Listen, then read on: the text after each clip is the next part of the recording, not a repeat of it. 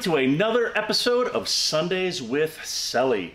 This week we're taking a little field trip. We're here at IMTRA. We are talking about bow thrusters. In particular, we're talking proportional, uh, variable speed bow thrusters, and that's where you come in.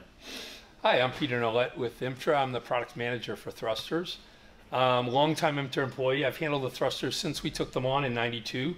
Um, the brand is it was Side Power, and this year they're changing the name to Sleipner. Uh, is a branding change this year. Uh, they've been in business since 1908, and let's kind of get into it a little bit. So, uh, traditional thrusters are just single speed on off. So, if we look at this, we're just full power on off like this, and you're pulsing that thruster. Notice we're moving the tank. It's a lot of power in this little tank. So what we did in 2011 is we said we want to change the way the thrusters are controlled, and we're using basically the same thruster, and all we're doing is changing the way it's controlled. And instead now we have full proportional control. So from zero to 100%. So if you want to sneak out of that harbor in the morning, we have a, it's very, very quiet. You want that top end, you still have it if you ever need it. The beautiful part of this is, you know, with the traditional on-off thrusters, you know, people would want them to counter 22 knots of side wind, so you'd, you'd size the thruster pretty large. But then you'd never use it because in that single speed on-off mode, it'd be very loud. You'd get the and people would be embarrassed by that. So now you can still have that really large size thruster, but now you can control all that power, you know, nicely, which is the best thing. This is so. In addition to new product, we actually do upgrades because right. a lot of the older product out there uh, were really oversized for the boats. Where literally you talk to a customer, you go, "Yeah, I operate the thruster, my boat will heel." Ah. And you go, well, that's way oversized. Where you know, doing an upgrade and proportional control can be a new lease on life because now you can actually use that product where you were embarrassed with it maybe before. you know, now you can use that product and get a lot more functional use out of that product that you might not have used before.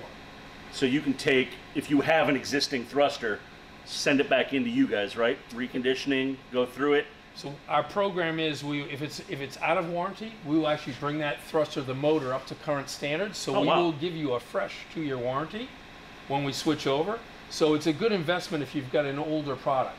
Um, it's not inexpensive. I mean, you're paying well, for the proportional controller, which is the, this is the piece that really gets added. Right. Okay. Because right. this is what magically changes the way we control that thruster. And the, and the nice thing is, so the thrusters have the same directional solenoids on them, like Correct. like most other thruster brands. Yep. And they open and close with contacts on an on-off thruster. So right. you're you're getting contact wear. With this product, what we do is we actually close the contacts before we apply power. Uh, so we're turning the solenoids into a solid state piece of equipment with no contact. Okay. Okay. Which is really cool. So now, so when we do the upgrades, mm-hmm. usually that is one item that we quote replacement because we do want fresh, clean contacts on the solenoids before we, you know, do that upgrade because they're never going to see wear going forward. Um, other than that, there's very little components that we change on the motors, really it tends to be service more than anything. You know, we'll turn armatures down, we'll pull them apart, we'll repaint. Check it all out. Yeah, we'll actually repaint motors, we'll bring them up to current, again, current standards. We want it to look good and operate the way it should operate.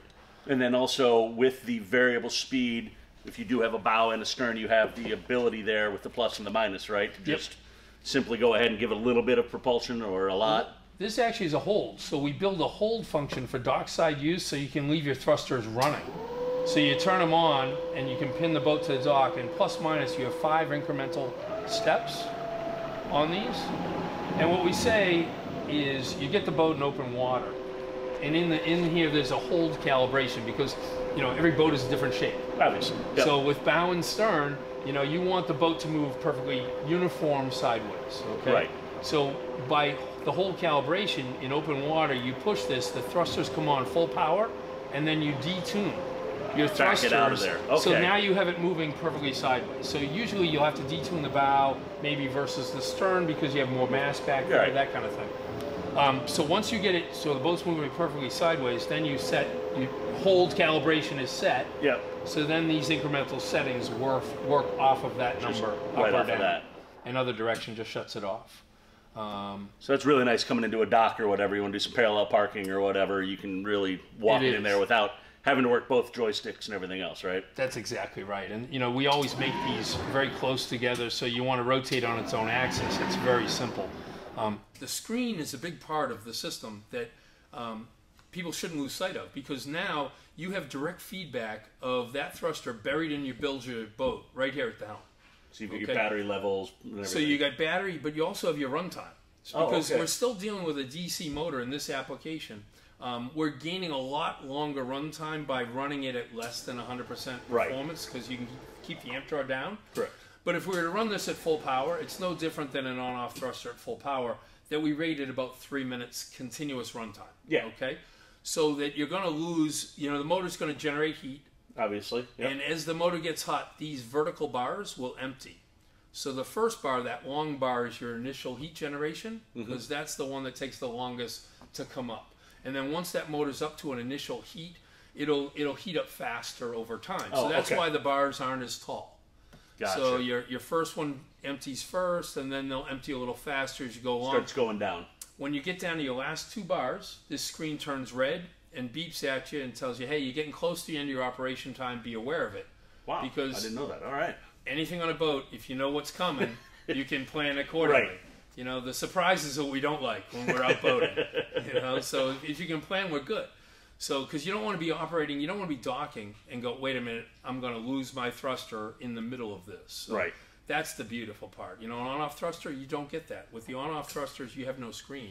Yeah. So you're just hoping that you have enough runtime, basically. so this that's a huge improvement on this product. Much, much better. Obviously, the more you know. Right now, the, the cool thing, uh, um, other side of this is integration uh, with these single joystick systems for engines, and uh, and so if you're an engine guy or gearbox guy, you basically have a joystick. All of them do now to integrate their product with a thruster or thrusters. The newer newer software versions are bow and stern mm-hmm. with the engines because that way we're playing nice in concert together. You know, if, if you just have a bow thruster with, with engines, the bow thruster actually has, has to oppose engine forces. So now More that bow force. thruster, bow thruster has to be larger than you would use just as a bow thruster. Correct. Whereas if I have bow and stern, now the thrusters are doing this, your engines are doing this. We play so nice together. So it's the best way Just to makes sense. it's the best software. So that's where uh, a lot of the a lot of the newer software with the joystick companies, that's where they're at now. And if they're not there, they're gonna be there, because it's been an evolution since your Volvo IPS in 06. It wasn't the pod engines; it was the joystick that really took off. And look where we're at now, because Ease of everybody's control. got one.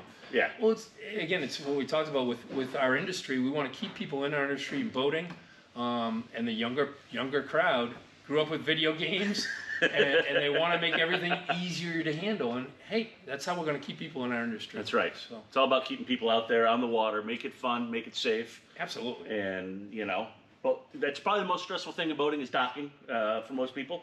Yep. Bow thruster. I mean, it's not just for big boats anymore. We're seeing them on smaller and smaller boats now. You know, even you know, 23, 24 foot boats are we're starting to see these on now. Yep. The worst boats to handle, single engine boat.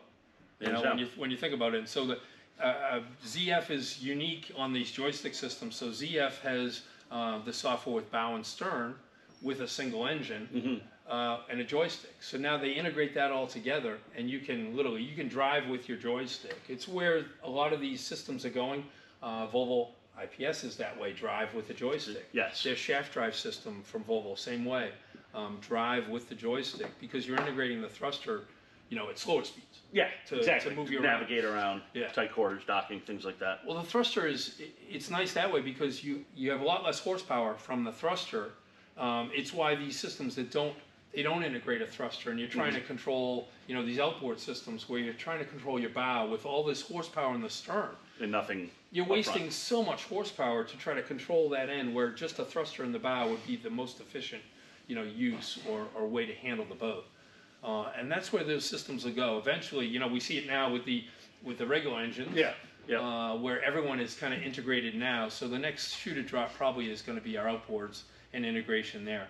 It's Uh, awesome. because that's where things are growing. You know, That's the market. That's what the yeah, market's it's- at. Look at all the outboard outboard boats now because people are changing from main engines to outboards because it's the most inexpensive way to get horsepower. Yeah, get a lot of power and, and easy, easy Yeah. to engineer on. So. That's exactly right. Space inside the boat, you know, all those, all those, all those things. pros. Yeah, Exactly. exactly.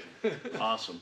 Well, Peter, thank you very much for your time today and walking us through kind of the pros of not only bow thrusters but the variable speed bow thruster and you know just all the great stuff that is about that. You guys want to learn more about this stuff? Check out Imtra. I think you guys got a social media presence, right? You're Yes, doing, you do. doing the uh, Yep. the whole Instagram and all that good stuff. So go ahead, give them a follow. You want to learn more about this stuff? Reach out to them. I'm sure they'd love to talk to you guys about getting bow thrusters set up and uh, any of the other multiple items that they have here. So uh, that's it. That is another episode of Sundays with Sully's in the book here. Thank you guys. Uh, as always, give us a follow YouTube, Instagram, Facebook, all that good stuff. Tell your friends about it, share it, all that good stuff. Until next time, I'm going to see what else they got going on here and we'll go from there. Thanks, Sully. Have a great day. Peace.